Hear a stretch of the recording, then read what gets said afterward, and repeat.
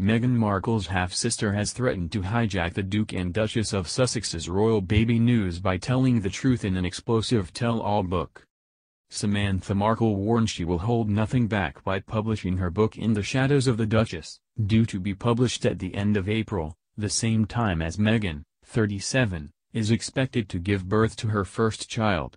Ms. Markle, 53, promised to cover everything from behind the scenes that the world does not know about adding, and trust me, there is a lot. She told Daily Star Online, you've got to read my book to see what things were really like. I have a very big mouth and speak my mind, as the world can see, at any cost, even if it makes me unpopular, but I tell the truth even if it makes me unpopular. I have, never been afraid of the truth because if the truth makes me lose friends then they weren't friends that I wanted to have anyway. Ms. Markle has seesawed between criticizing and praising Meghan Markle on social media after their father Thomas Markle pulled out of walking his The Duchess down the aisle due to ill health and after being caught staging photos with the paparazzi for cash. In another warning to her estranged sister, she said she would not let Meghan skip on her merry way without the truth being revealed. The second part of the book will be published in July, just weeks before Meghan's birthday.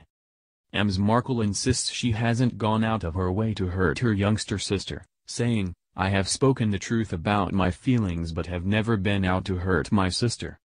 Any reasonable person would question what she has done to the entire family and this is not about mudslinging it's about truth and reality. Call it whatever you want but until and the less you read it you have no idea and cannot judge.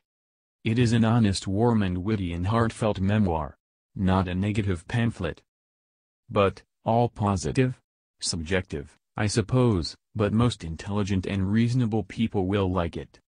Let's just say the nasty gossip about her on the internet is negative and by comparison my book is not. People seem to want dirt.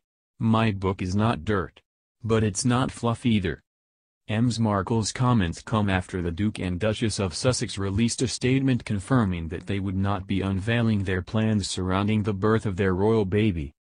The statement released by Buckingham Palace also stated that the couple would enjoy the arrival of a newborn privately, before sharing the news with the world.